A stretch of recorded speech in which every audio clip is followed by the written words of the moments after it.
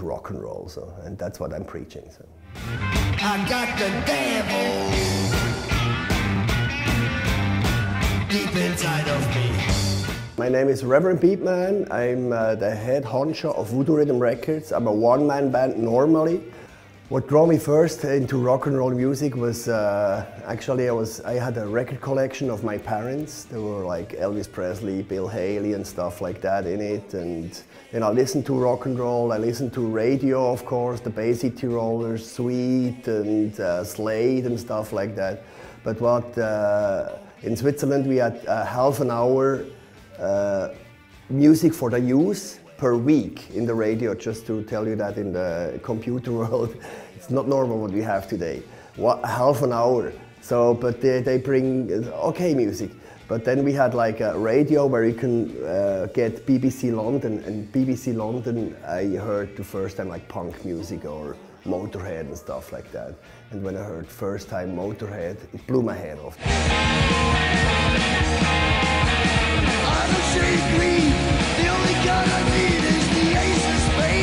Went to concert and see how the bands are playing and I wanted to be that. So I kind of copied how they look like, how, what they did with the fingers. And I tried to put my fingers also on the guitar that it something like sounds like that. I had my first guitar was from my father, and so I tried these chords. But I, I uh, they, my parents said, "Yeah, you have to learn how to play real guitar, you know, if you want to make, make guitar players. So they sent me one hour to a guitar, guitar lessons, and then I had to play like la la la la la la la la. And I said, no, no, no, no, no, I want to play that. And the guitar teacher just said, no, just go away. But my ideas are were always so quick, quick, quick. I, I have to do something right now and create and produce and stuff like that.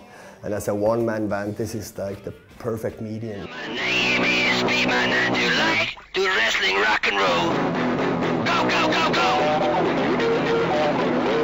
Wow, wow! But I had this band, The Monsters. Then I went traveling in the USA uh, end of the 80s. I was, uh, went to the US for, for a half year with a tent. We bought a car and we drove all around the USA and go to thrift shops and buy records and stuff like that and old guitars. And, and so then in Los Angeles we went to see a lucha libre fight, so a, wrestling fight where people are yelling at the wrestlers, kill yourself, kill, you fucking asshole, fuck you, fuck, I kill, kill, kill, stuff like that. And I thought, wow, this is amazing. It's just a show and people hate you or love you. It's totally reaction, totally.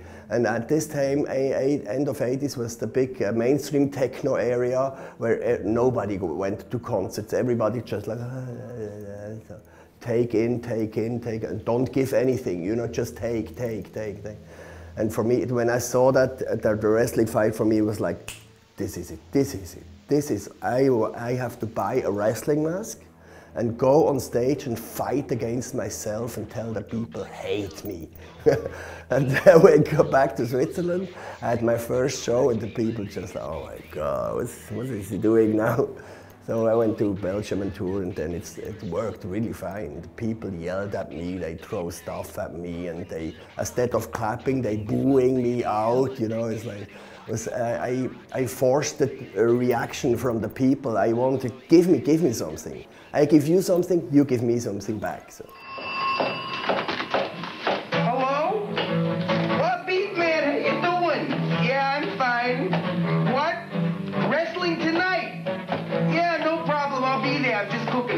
I turned the name uh, into Reverend Beatman from Lightning Beatman because I was touring about 10 years as Lightning Beatman with, with the wrestling mask on. Normally I'm a shy person, so I'm born shy, you know, it's like...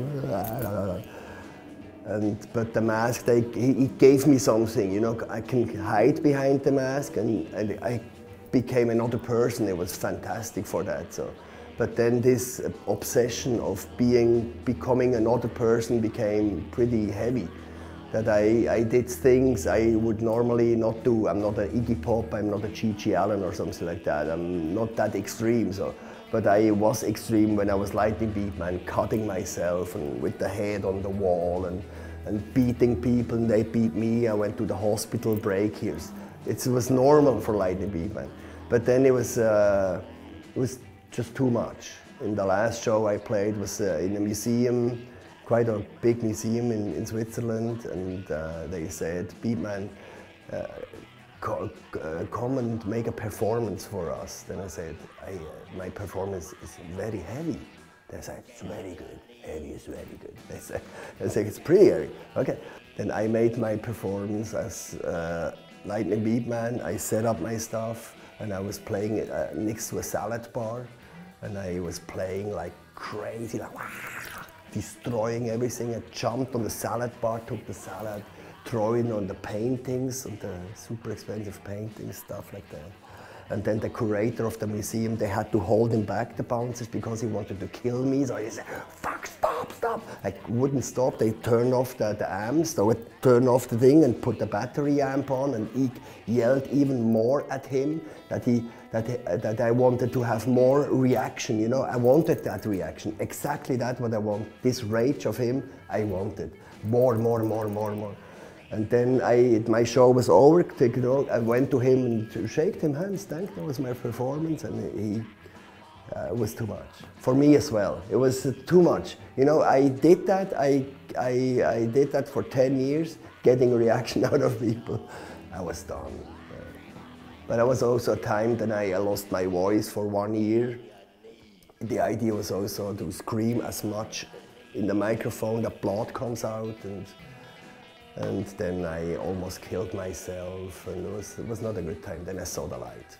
One day I saw the light and then everything was clear. So I became Reverend Beatman. I have a mission now.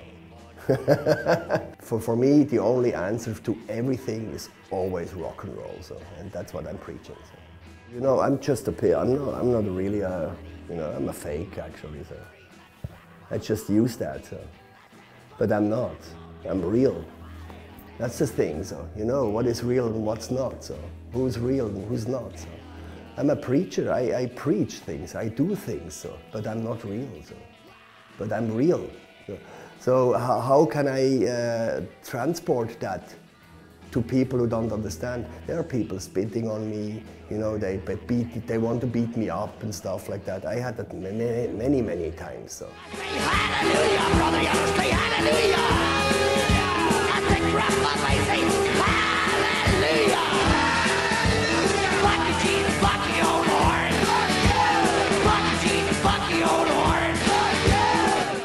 I'm from Switzerland, and uh, maybe you have a stereotype from Swiss people.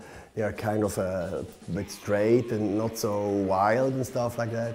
And if you think that, it's exactly like that. you know, I, but I created my person, Lightning Beatman. This is out of the out of the head person. You know, so wild and so crazy and so far out. And this was too far out for Swiss people. So in Switzerland, I really had a hard time to even find places to play. So I, I started to play, my first countries were Belgium, France, Holland, stuff like that. In Switzerland, they see me as a misfit and they see me as a freak. They see me as not a part of, of culture, actually. So it's what I see. They have to accept me because I get prizes uh, here and they play me even in Arte and stuff like that. And they see that and go, what the fuck? Well, why he? You know, he, he uses so dirty words. Why? Uh, and why not uh, whatever DJ Bobo or whatever? so they kind of have to accept me, it's a, and it's a wonderful kind of a wonderful thing. I'm a completely misfit that they don't actually want to accept, but they do. They they do with the time because they have to. Rock and roll has everything. Rock and roll also have, have hate, love. You know, it's it's all, but it's a it's a community that works. You know, I see it. Uh, I come from Switzerland and they call that a country, you know, and this in this country everybody, they should be Swiss people, but I'm not, I don't fit in there. So I travel all around the world, I can travel to Vietnam, I, I played in Africa, Australia, America, everywhere. I, everywhere I find my people, and those are my people, you know. It's like, it's not a country that, that, uh, that tells that those people are like that. It's not. I, I find my people everywhere in the world, and this is rock and roll. So.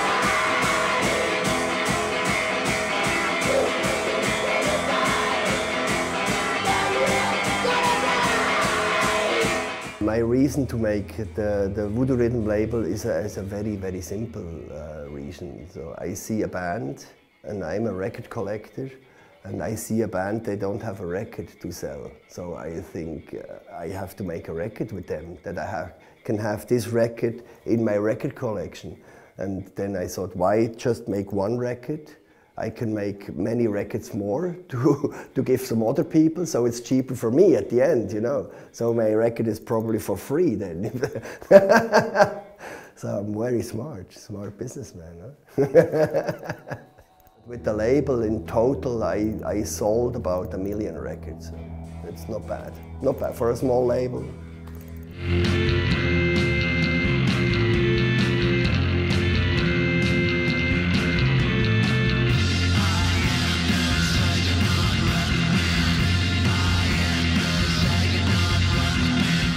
Started to make music because I, I wanted to be uh, world known. I want to make music that the whole world knows. That's my plan, to make that with underground music, with do-it-yourself music. I, I, I want to want to show the people, the world, that it's possible to make. So. And I'm working still on it. So.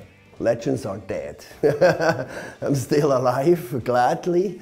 But uh, I'm really happy that I'm alive and then, that I can play and it's really good. So I don't want to be a legend at all. Not one second, please. I got the devil.